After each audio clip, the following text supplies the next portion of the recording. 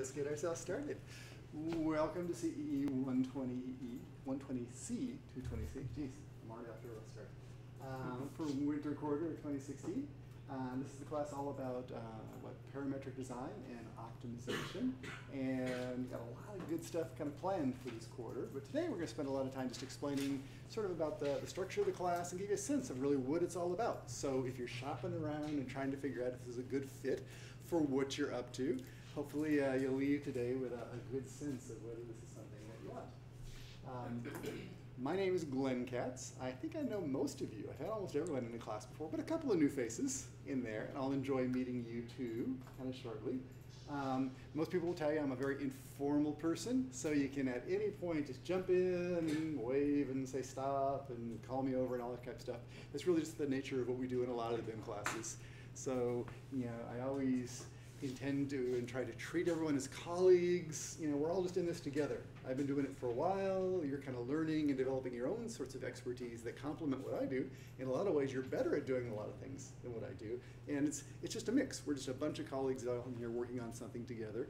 And in this case, working on what is what I think is kind of one of the leading edge areas of where all this building modeling technology is being applied, and that's towards thinking about kind of parametric design and how we can optimize our designs using some scripting tools, heading towards generative designs, which is very different than what we've been doing typically if you start out in uh, 220A or one of the introductory classes. Okay, so I'm going to sort of flip it around a little bit today and start with telling you some of the whys, then we'll get into the hows. Often I start with the syllabus and all that kind of stuff, but let me give you a sense of where we're going and why we're going there, and then we'll get back into the logistics. Okay, it's just somehow makes more sense to do it that way. So in terms of why, let's think about this.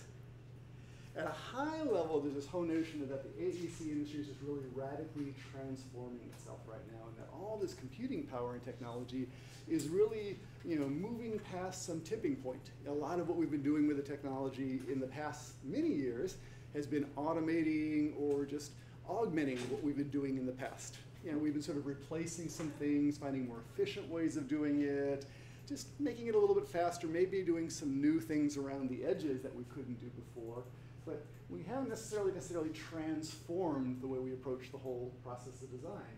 And what this class is all about is really where that is going in terms of starting to fundamentally transform things.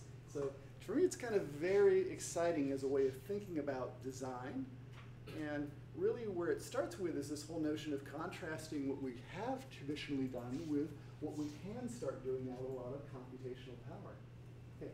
In the past, you know, and really what we have been doing mostly if we've been taking the BIM classes uh, along the way is we've been explicitly designing things. Okay, and explicitly designing things is kind of okay. You know, by explicitly designing things, I mean that basically, you know, you decide that you want to, once you're designing the building, I'm going to put a wall in this location. You get the wall tool, you drag the wall tool out, you set the height, you set the width, you set all these different parameters about it, and you're very much in control of what's going on. And as you go through and put things down, you know, you're actually sort of saying, I want it at this precise location. But once that wall is at that location, it doesn't really know much about why it's there or why you made the design decisions to kind of make the decision that you made at that one time. It just sort of knows what it is. Okay, it doesn't really have much intelligence about what's going on. It's kind of smart, but it doesn't really have your design intent encoded. And as we go through and explicitly design things, the nice thing is you have incredible freedom. As you sort of learn within a tool like Revit or something like that, you can really design most anything you want to. Okay? But along the way, you also pick up an awful lot of responsibility for what you do because you can combine all those different elements together and it's up to you to sort of figure out really whether it makes sense, whether you're meeting all the different criteria and objectives that you want to be doing with it. So, you know, there's kind of a trade-off in all that. We have incredible freedom, incredible flexibility, but also, you know, there's really not a whole lot of internal self-checking about whether the design makes sense. If it makes sense to you, it was kind of good enough. The disadvantage of doing it this way is that it's kind of slow and tedious. So if you've ever done a building of any large size, you know, when you were working on either the engineering student commons or maybe when you were working on the project for the shopping center, some of the different projects we've worked on, or even if you've been working on your, uh, in your uh, global AEC buildings, things like that. you, know, you make all these design decisions and you make them explicitly, but it's an awful lot of work to the extent that you may be somewhat hesitant to go ahead and remake decisions because after you've kind of moved on down the garden path and continued adding detail and adding more detail to your building, you're sometimes hesitant to go back and make some changes early on because it's just an awful lot of work. You know, so many things when we do them very explicitly and you finely tune everything like a little jeweled box, it's almost so precious that you're afraid to kind of start flexing it and breaking it because it just fits together so, so finely. As we start moving towards the idea of parametric design, we're going to try and break you free of that notion, though. Okay, and really here's the idea behind parametric design. What we really want to do, starting with thinking how it's different, is start thinking about rather than going through and having a lot of explicit decisions and encoding them, actually thinking about why you made that decisions and embedding your intent, embedding the intelligence behind what you were after as opposed to the actual decision the reason we tend to like to understand and embed the idea of why you made the decision rather than the actual decision is conditions change. And if the context changes, you might make a different decision tomorrow. If materials weren't as available, if costs were different, if labor was different, if we moved the building from beautiful Northern California to some very hot or very cold climate, you might want to make a very different decision based on those local contexts. And it'd be nice if we could actually encode the intelligence so that the building could adapt itself. Okay, based on opportunistically the site context and conditions, the local conditions, just really be more of a dynamic design as opposed to being a very explicitly uh, controlled design. So, you know, one big concern that really we're getting into a lot when we start thinking about fabrication is the manufacturability of things. There's a lot of things we can be considering. You know, different criteria. But the idea is, can we actually think about really your design intent and encoding that as opposed to the explicit decision you're making? Okay, as we go this way, the idea is that we're starting to start thinking about a framework for how we organize and think about our design, given the, given the notion that there are some parameters which are things that are variables which you do change and tweak. There's other things which are results of those decisions. Okay, and you actually start to want want to start being explicit in your own mind about thinking about which is which, which is really a design variable that you're changing versus really what's an evaluation of that design variable. But we'll go through some examples of where that goes, or how we can apply that. Um, there's this basic ability to iterate through design options.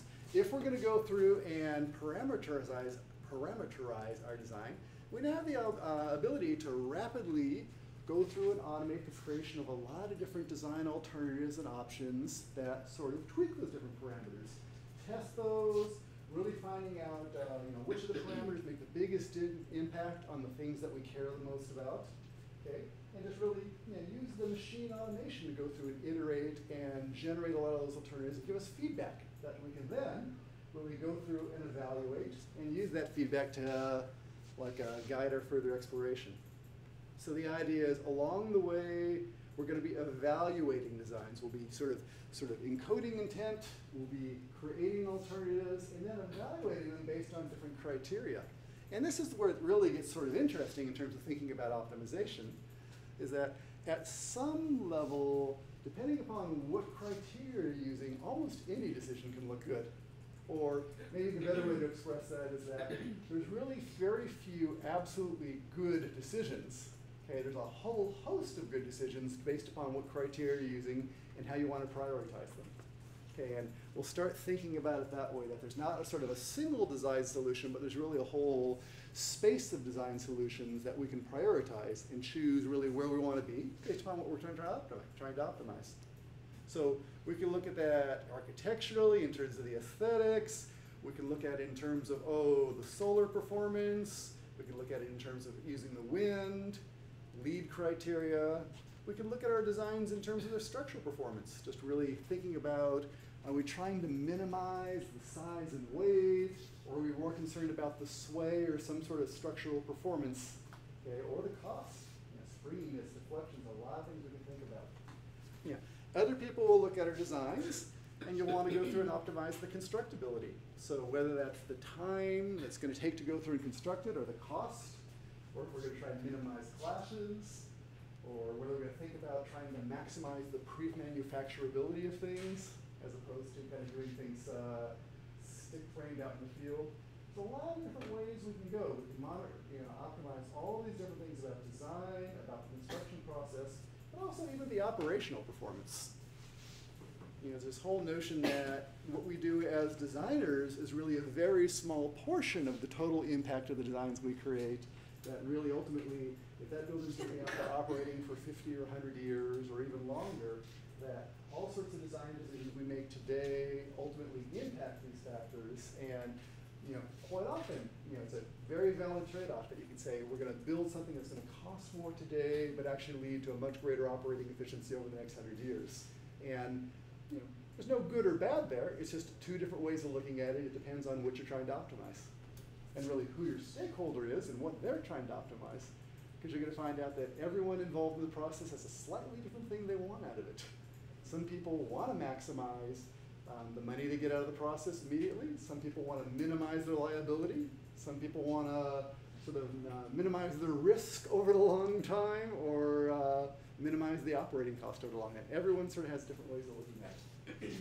so it all starts with encoding and thinking very explicitly what your criteria are, you know, going through a lot of alternatives, figuring out which criteria you're going to use. And here's where the real kind of funny rub comes to the whole thing is that when it comes to really choosing or deciding what's optimal, you know, the notion of what you choose to measure and what you define as your criteria is probably the most important thing. Because depending on what you choose to measure, if we're optimizing towards that, you'll get very different results. Okay, so very critical step. But the idea is at the end, hopefully, we're going to get some feedback that's going to guide further exploration so that we can kind of just keep on going. We have, uh, yeah, it's, it's think of designs as being live, and that uh, you can keep on optimizing, uh, keep on enhancing them iteratively, yeah, just based upon the changing conditions. Okay, as we think about optimizing, there's a couple of different ways we can approach this. Just as a high level, we're going to explore, oh, there's this whole notion of single dimensional optimization, Single dimensional optimization is actually relatively easy in the scheme of things. If you give me one criteria and you say maximize or minimize that one criteria, I'll probably come to an answer, and there probably is a right answer for a single criteria. Okay. Multidimensional gets much more interesting because all of a sudden now we have trade-offs between different things. Okay, and if I'm trying to optimize the structural stability, that might be working against the cost you know, or vice versa. Yeah, it's like multidimensional throws everything into a slightly different territory where when we start thinking about you know, multidimensional, often there's not a single answer, there's really a whole range of different answers, which leads to this whole notion of there being different frontiers where different things sort of make sense or don't make sense. Let me see if I can kind of actually motivate that with an example, just to give you a sense.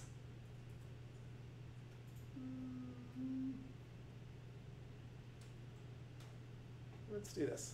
I'm going to bring up this. Okay, do a little drawing.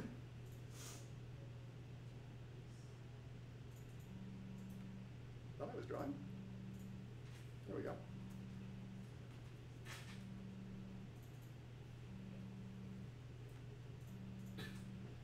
Everyone has seen some sort of curve that looks like this.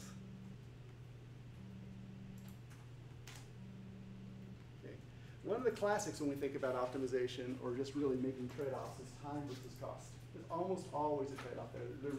There's almost a universal truth that makes sense. So if we were thinking about building a building, if we were thinking about building the Y2E2 building, for example, and you know, think about the overall scale of uh, you know the building like this, you know, we can sort of I can ask you today, now really you what do you think both the time and cost of building something like the Y2E2 building would be? maybe that's too big. Let's make it much smaller. Think about like something like, oh, you know, 1,500 square foot single family house. Maybe that's a lot easier. Just something a little bit smaller in scale. Okay, so if we asked you, like, you know, how long is it going to take to go through and build that, and what cost might it be? Okay, we can come up with all sorts of different numbers depending on how you want to approach it. Okay, so let's start, well, yeah, just for anyone, you know, how long do you think it takes to build like a, a little single family home? Anyone have any experience? A few months. few months? That's generally kind of a good guess. Okay. So let's say, oh, maybe if I devise this into, if I thought of this, I'll say these are months. That's six months, that's 12 months over here. So let's say, oh, I'm going to put it on like about four months, something like that. Okay. About, oh, let's just do this in terms of dollars per square foot. Maybe that's an easier way to look at total dollars. Okay. Todd, how much, how many dollars per square foot do you think it takes to build a single family home? Twenty-five. What's that? Twenty-five. I want, I want you to build my house. That'd be great. I just called a number. That'd be a good one. No, it's, uh, that'd be a really good one. In this area, conventional wisdom a couple years ago was around $200 a square foot. Wow. It's very complicated here, especially in this area, because it's sort of what the market will bear. It's probably four or $500 a square foot, you know, whatever it is. It's, it's pretty expensive to build around here. So there's some number. I can sort of come up with a point. Let's say it's at four, and it's at 200.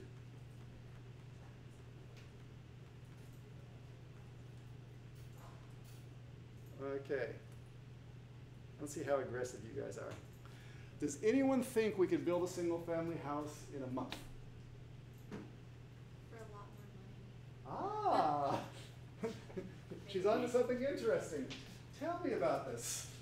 Uh, well, if you compress the schedule, you're increasing costs because you're having people work overtime, you're, um, spending a lot more to have, like, everything available sooner Yeah.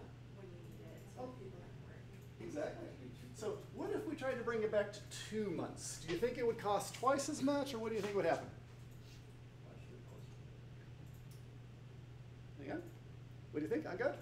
Why should it cost more? If in prefab it, it should not cost. Well, ah, you're onto a whole nother strategy there. We could just got to change our strategy, which is good to think about because then we need to sort of change the way we think about the problem. Let's say we're staying conventional. If it was two months, do you think it costs twice as much, less than twice as much, more than twice as much?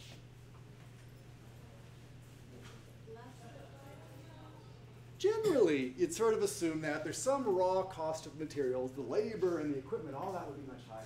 But the cost of materials would probably stay the same. Unless we had to like pay a whole lot more to get things on site. So, I don't know, maybe it's up in here. Do you think we could build it in one month? So you feel like working around the clock and hiring everybody. Some people do that. Have you ever seen like these fantastic videos of people building entire high rises in like a day? It's pretty amazing. Yeah, it's doable. Yeah. Again, there's some value with doing that. And what tends to happen is there's some costs that are fixed, some are variable, blah, blah, blah. Yeah, so you end up with some sort of curve in here. Okay, how about if I gave you six months to build a house as opposed to four months? You know, would it be cheaper? Maybe yes, maybe no. Yeah. On God says no. Anyone say yes? So, sometimes it's yes, because oh, you know, if, if, if you have time on your side, sometimes you can wait for the sale, or you can kind of delay till someone has a slow time in their work schedule. Yeah, you can sometimes get some efficiency out of that. So it's somewhere in here, but maybe it's not so good. Okay, how about if I gave you 12 months or even two years? Okay, what, what's sort of the minimum? Yeah, maybe it's out here somewhere. What's that? Probably increase at that point. Oh, maybe it would. Because now uh, you're on something else. Because at that point, just your overhead costs of the trailer and the equipment and all that stuff is starting to add up, and maybe that's starting to be more than the cost of the house. So that'd be that's especially bad if you have something that you know comes back up again. Okay, but let's go ahead and just draw this curve for a second. So I'm, I'm thinking of something like this. Okay, so theoretically, this curve is called the Pareto frontier. Like any of these things are, opt- are available solutions. I could build it here, I could build it here, I could build it there, I could build it at any of those different points. Theoretically, you know, if we can get people to that. So if that is the case at some level, depending upon how much I care about my money versus time, okay, I could be end up anywhere on there and still be kind of okay.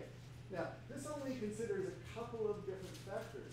If I threw in some other things like, oh, the cost to the poor people who are waiting to move into the house or the rent they're continuing to pay on some other piece of property, that sort of throw another dimension in it, or for us in construction so much it's, oh, as you're doing a manufacturing facility, the cost of actually, you know, delaying the opening of the production facility another month or six months is huge. It could be millions of dollars, more than the whole cost, cost of building the, uh, the facility. So other factors that go into it. But theoretically, there's some sort of curve, and here's how it sort of works. If those are all equal, okay, if on the other hand, for four months, Dom's going to build my house down here, okay, you know, run, don't walk to this solution because uh, this is an incredibly attractive solution, okay? Whereas, oh, Andrew, on the other hand, was bidding somewhere up in here. Okay, you know, we don't need to go with him in terms of what's going on. So there's just this frontier, just be aware of it. So whenever we get to multi-dimensional things, there's sort of a trade-off between different things. That's just sort of what works. Okay, and that'll come in much more important as we get further into the class because we're going to learn to evaluate all our designs on several different criteria. And then, really, what's the best design? Kind of depends on how you prioritize and rank the different criteria. Okay, and it's not always kind of simple trade-offs. If I throw a third variable in here, it's going to get really hard. But that's okay. That's just kind of where we are today. Okay, as we go moving through and thinking about parametric design, one thing I want to keep you aware of is there's sort of a notion, oh, it's almost like a hierarchy to what we're doing, and that's actually the way we're going to start structuring the course. As we think about where we, how we start to approach this, and we can start to use automation to help us with parametric design, there's different levels of getting into things, or you know, how it can assist us. At one level, there's this notion of design assistance. Actually, let me switch over to the roadmap. That'll be easier. This is as close as I'm going to get to a syllabus today. We're going to start by looking at just the whole notion of just how we can go through and use parametric design and some automation to just assist in our designs. So by assisting in our designs, I mean, this is where we're going to go through and the automation to help us with the design, as opposed to doing everything manually, one step at a time in Revit, and placing every individual item uniquely, to actually use a little bit of automation to place things automatically, size things automatically. Yeah. Now, for a lot of our buildings that we've been working on in some of the prior classes, if buildings have very regular forms, this isn't nearly as important because they're very repetitive and you can sort of just copy and paste and do whatever you're doing. But if we start thinking about things that have unusual organic forms, shapes that have to be rationalized, or things where we want them to actually respond to the environment, where it's almost like mass customization. You want to have a lot of things that vary just a little to really be optimized for the specific conditions. Yeah, the whole notion of using automation to assist with the design, to give us a little helping hand, a little boost, is kind of really powerful. So we're going to start with that, looking at parametric components and something called adaptive components. I'll show you a little bit later today. But how we just basically enhance it by adding a little bit of automation to help us with the building skins and create just building elements that are responsive. So you kind of like buildings to be a little more responsive. It's kind of disappointing how static they are in the way we design them. But if they could actually respond to the environment, if they could respond to the sun, if they could respond to how we actually use the building dynamically, that'd be a much more interesting organism. I'm a big fan of buildings that sort of are more responsive to what goes on. So we're going to start with design assistance. We're then going to move into what I'll call like design evaluation and verification. And that is, once we've gotten the hang of basically using Revit to create, or Dynamo and some of the tools to create some design alternatives, then you can go through and evaluate them. And we can evaluate them against sort of static criteria, things like doing code checking, seeing if all our members are meet certain structural requirements, if our doors have the appropriate swings, if our pathways have the appropriate clearances for ADA compliance. We can set up and use design automation to kind of validate our designs. We can also evaluate them. So we can sort of rank all these different design alternatives and say, okay, you know, that gets a 99 out of 100, this gets a 98, oh, that's 105. We can really go through and rank them all based on a lot of different criteria. So we're going to learn how we can actually go through and once we've created a series of different alternatives, how we evaluate them and compute rankings for them. Then we really get into the whole notion of just really design optimization. And optimization is really, given that you have a bunch of alternatives and you can rank them, how do you move around through this almost infinite design space to figure out where you want to be? Okay. There's a lot of different kind of cool strategies for dealing with that. At some level, trying to compute every alternative, if I gave you 10 different variables and you had a range of values for each of those 10 different variables, you might have millions of different options. Okay, and rather than trying to compute millions of different options, there's some really cool strategies for narrowing in and zooming in on the ones that look the most productive based upon what your criteria are, and using that to get some feedback. So that's where we're going to go in the third part. For the final part, we're going to actually do a little bit of automating of our design workflows. So we're going to talk about really just transferring and exchanging data and using some tools like that. So very often in our world today, we don't stick strictly within Revit or any one tool. You have structural tools, you have building modeling tools, you have energy analysis tools, you have spreadsheets, you have estimating tools, and just getting all your data to flow back and forth between those different things so you can get the feedback without a whole lot of grunge is really important. So that's where we're heading. Um, we'll also do a little bit of custom programming with Revit. So if you've always thought to yourself that, boy, Revit's kind of okay, but I wish that it could, and fill in whatever you want it, yeah, you'll, you'll get a chance to build your very little Revit plugin, okay, which is actually uh, yeah, kind of fun. As soon as you open the door to that, you are unstoppable. Okay, so uh, that's where we're heading next. Okay, in terms of just, oh, applications, well, let me start with the whole framework. I want you to start thinking about the world in this way. As we start making our design decisions, there are variables, things that are available to you to change that you're willing to put on the table and let vary. And you can think about those inputs or sliders or however you want to think about it. Those are things that are on the table to be changed. There's also a world of constraints. Constraints are things where they're the boundary conditions. They're things that you just can't change. It's not an infinite space. There are some constraints. And whether it's some structural requirements or code requirements you're up against, or you have an absolute cost, or just because you're building a building in a specific region or region that you only have one choice of a structural system, there, there are different places where we bound ourselves because your world isn't truly infinite. Then we have all these evaluators. And you know, other words would be assessments, results, ratings, but for every variable we can tweak, as long as we work within the constraints and ultimately evaluate, okay, we got a little framework for figuring out like how to navigate around it here and find the best spaces to be. And that's what we're gonna spend our time doing. Okay, in terms of some examples, we talked a little about time versus cost. That's kind of good. I'm just kind of trying to apply that to an ever popular one, planning a trip. Because that's a really good example. Yeah, have you ever thought about when you're making reservations or you're planning a trip to go somewhere, how many different options you have? It's really pretty amazing whether you're sort of driving up to San Francisco or taking the train up to San Francisco or taking a bus up to San Francisco or you know, there's a lot of options. Or I'm just about to, I'm gonna be heading down to Walt Disney World next weekend. So I gotta plan a trip. Okay, and it's amazing, like how much is available to you there. But let's kind of just think about it in, in terms of this framework.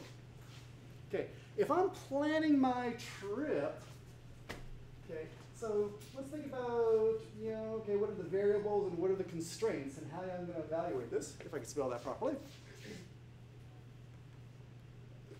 Okay, here's some things I do know. I have to be down there next Friday morning. okay there by Friday morning. And I know that I have to be here by Monday night.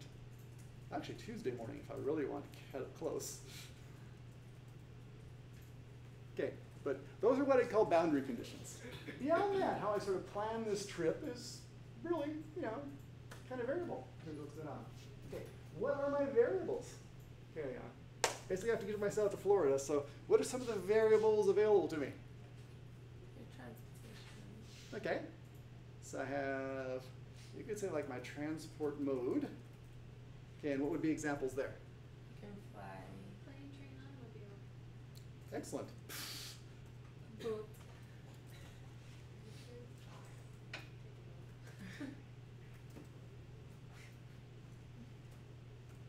And this is actually good. I'm glad you're heading this direction 'cause it kind of gets down God's point. Often we doom ourselves to a bad solution space by just limiting ourselves. And yeah, why not boat? There might be some super hydrofoil that, you know, uh, what is it? Oh, what's Elon? Uh, the Hyperloop. You know, would do that. wouldn't that be nice? Or uh, my This would just serve. It would change the world. The transporter. You have to get stuck. Well, like, just beam me over. Okay. Uh, what are some of my other variables? Okay. Yes. Good. Okay. Let's see. Is that a variable that's going to be in, in, um, entering into my design, or is what is that sort of? Let, us think. That's a good one. So let's see where it fits. Okay. How do how do the climate conditions fit into things? Well, I was thinking that if there was a storm, I couldn't really get from LA to, to San Francisco in time or. uh, Yeah. I'm going to put that in here. I'm going to put that over here. Because that could create a constraint. You know, if there's a storm and the rain's kind of preventing something or other, or a snowstorm on the East Coast or something like that. Actually, it's a really good one as an example because the decision I make today may change radically if tomorrow some big polar vortex comes blowing in and like half the airports across the east coast close or something like that, I might have to remake it, make a new decision really, really quickly in terms of what's going on. So it's not a variable because you can't personally change, like, change Yeah. the input. Exactly. It's not But a variable for me to, ex- exactly. See, it's affecting the model, but it's not really something that's, yeah, it's in the model, but it's not, it's not one of the sliders. Okay, so how about, oh, I always think about what airport I'm gonna leave from. That kind of makes a difference, because we got some choices here. But wouldn't that go on the plane? So yeah, Point of departure. If if you your point of departure, wouldn't that get different airport, wouldn't that go under like a variable of taking a plane? Like if you make Oh, that exactly. decision? Oh, actually, you know, that would actually, if it's, whether it's an airport Yeah. or a train station. Oh, no, exactly. It's, I, c- I could see that as being sort of a hierarchical piece of it. Oh. Okay, so based on if I was going the plane, okay, no, you're right, that's sort of a hierarchy thing. Okay, I'm gonna start heading down planes to keep our space so small. But no, that, you're absolutely correct. It's sort of, it's, sub, it's subordinate to that. Okay, what else? I, well, What are you gonna do get there? I'm running a half marathon. But which, which, which, but yeah, is it, is it relevant? Maybe not. I mean, it'll, it'll, uh, Oh, actually, it does. Yeah, I could see it. Well, yeah. It'll, it'll, a lot of factors will get affected by that, right? If you go Okay. into the, the Disney World, you probably wanna, uh, get there early in the morning. But if you're just going to relax and chill at a resort, then you can be. Okay. Or you might need your car to get around because. the Let me try this. is So I'm going to say that one. I'm going to put it as an evaluator. Could, uh, impact on my state of being Yep. is going to be one of the ways I'm going to look at this. Actually, uh, you know, oh, and then da- da- da- da- da- da. even another evaluator is uh, continuing use of transport. You know, because if I took the car, although it might be very painful and take a lot of time, the fact that I do have the car down there could be an offsetting factor. Okay, so that's going to sort of change the way I think about that. Uh, there's this great site, Hipmunk, that is, yeah, if you ever play with it, it, it, it's like a pain factor or something like that, where, know, as I'm going from here to Florida, you know, I can go for the, you know, five hour flight, I can go for the 15 hour flight. you know, there are a lot of different ways of doing it, and, yeah, that might be a way that they suggest you can evaluate things. Okay, up here, oh, what else do I have? I sort of have sort of this whole notion of departure time. I could even say return time. Actually, let's do this. Let's make this real.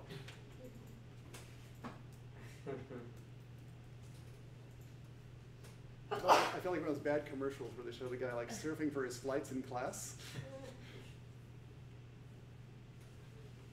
Okay. So, well, here's a variable. There's a slider for me to put in. So it's going to be SFO or maybe include nearby. Those are variables. Okay, I can decide whether I want to go straight to that specific one, go somewhere different. These again look like inputs. These are variables. This thing's actually gonna go through and do some searching and hopefully try to optimize things for me.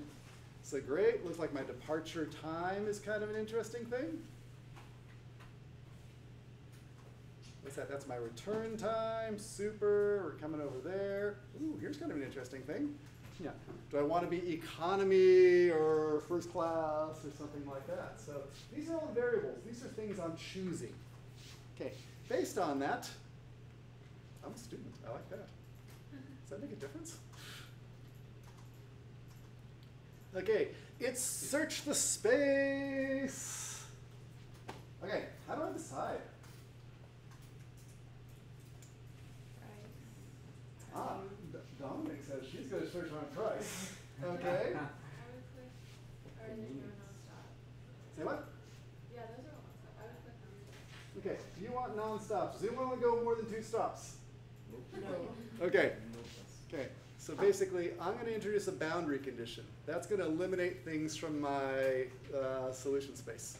Super.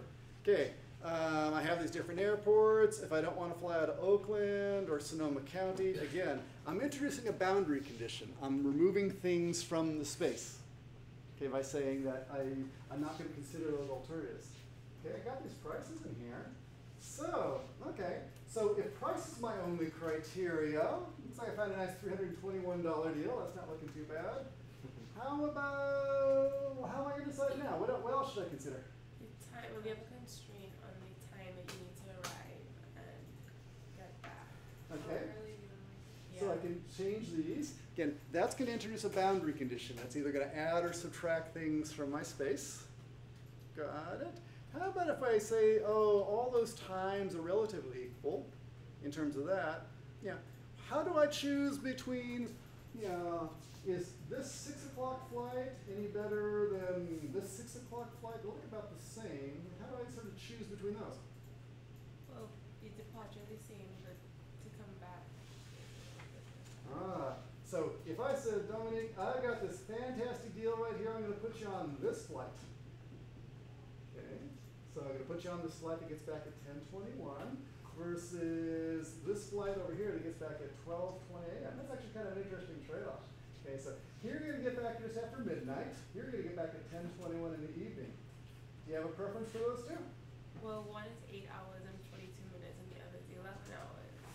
Ah, so there's a trade-off in here, because I can get back at a more reasonable time, because if I have to have someone in my family come pick me up, they might prefer ten twenty-one, yeah, versus, but that's gonna take eleven hours.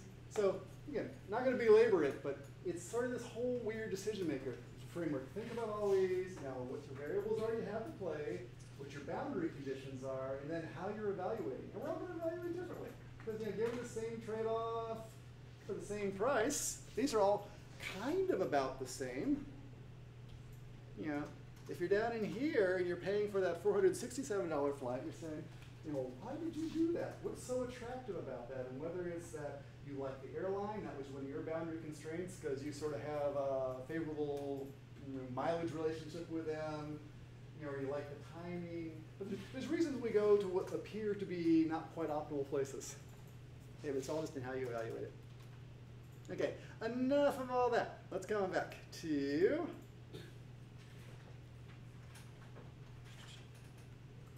the map. So there's variables, there's constraints, there's evaluators. And we're going to learn to start thinking about everything in terms of those concerns. And watch out, not to get confused by those things, because sometimes what you think is a variable is actually a constraint, and you just have to kind of think about it the right way.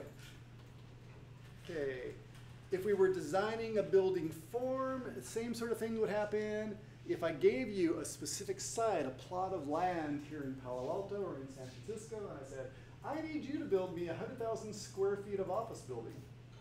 That's your requirement, but what you're going to do, you know, now has, there's, there's variables. Let's kind of think about that. So if I said, again, variables,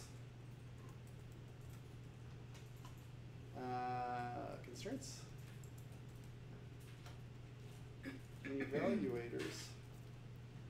It's interesting. I would almost say that the requirements almost sort of fall into the same category here, because as I think about it, the fact that I'm going to give you this requirement to give me this 100,000 square feet,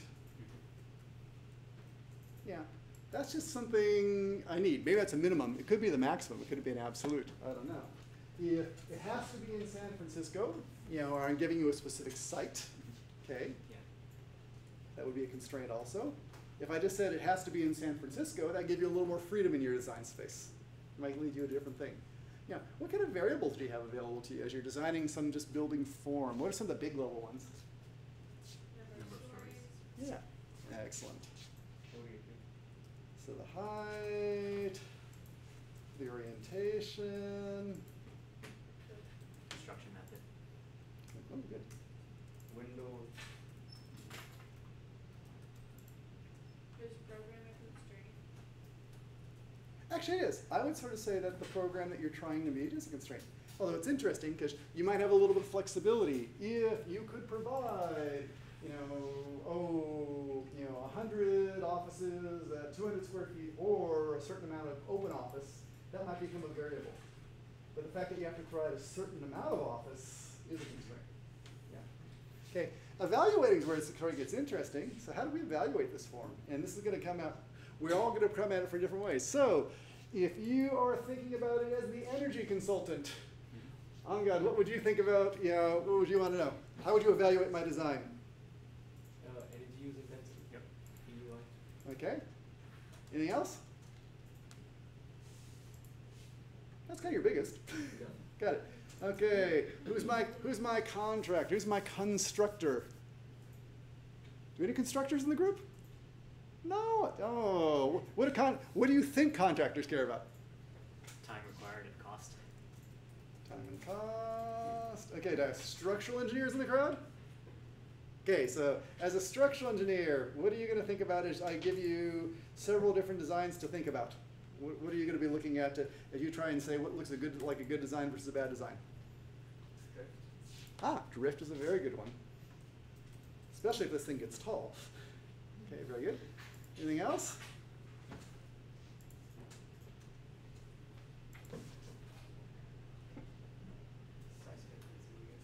Say again? Uh. Ah, good. I like it. Okay, and how, do you have any architects in the crowd? I think I have a couple.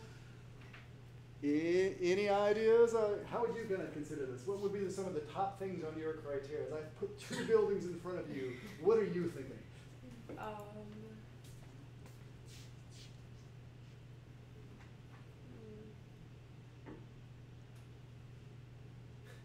User experience. Great.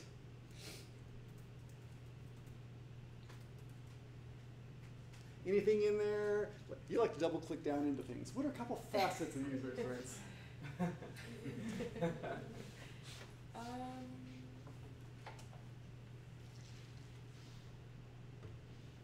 I don't know. Good. Suggestions? Andrew? Uh, Yep. Well, I guess I would look at from the energy side where you have user comfort. Yeah. there. Actually, user comfort's a piece of it. It sort of is related to the whole EUI. That's sort of where they come, kind of come together. But, oh, sometimes we look at views or lighting. Um, amount of walking you have to do might be a consideration. Ooh, The bathroom is the opposite side of the building from your desk. Maybe you don't like it as much. let's say the walkability. Yeah, there's all these different things. You know, we can come up with any number of criteria, and ultimately we would like to because, you know, what we'd almost like to do is, as we're designing a building, you know, it'd be really cool to sort of as you're designing and thinking about forms, have a little, you know, like dashboard that gives you little ratings on how you're doing on some of these things. So as I go through and I shrink those windows down because I'm trying to help my engineer who's thinking about energy and the daylighting is being squeezed out of the building and the poor people don't get to see outside anymore, yeah, I'm making a trade-off in there. So you'd like to go ahead and see what those different things are, consider them all, but there's really, yeah, even with this little list of criteria, there's, there's really a whole lot of different things we can do. A, that's a big design space all of a sudden. Okay, you know, on the variable side, you know, maybe all I'm doing is changing the height, the orientation, maybe the shape. Okay, but yeah, a big design space in there. And this is how we're going to start taking apart the problem. Okay, let us do this. Let's go ahead and take our break now. When you come on back from our break now in, oh, let's see if you can get yourself back by 11.30, we will shift our gears and start looking at uh, just actually the specifics of the software and how all the tools start working together so you get a sense to like, what do we do with all this in terms of actually trying to make it actionable and create systems that let us try and work in that. So let me pause this. Please join us again at 11:30.